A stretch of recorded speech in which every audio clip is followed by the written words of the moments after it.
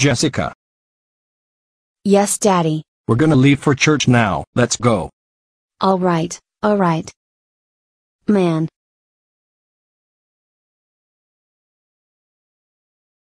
Come to him, a living stone, rejected by human beings, but chosen and precious in the sight of God. And like living stones, let yourselves be built into a spiritual house.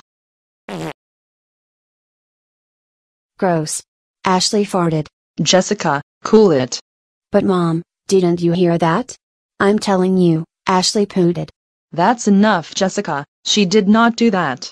Now knock it off. And if I have to tell you again, then you're gonna go wait in the car. Oh no, I feel another one coming. Dude, that smell like Dorito. Hi hi hi hi ho ho ho he he he hoo hoo hoo. Jessica, sit down right now. Excuse me, what's going on down there in the pews? Ha ha ha ha ha. He said PUs. There sure are a lot of PUs going on down here, Father. The guy behind me keeps farting. That's it, Missy. Go wait in the car now. And just you wait till we get home.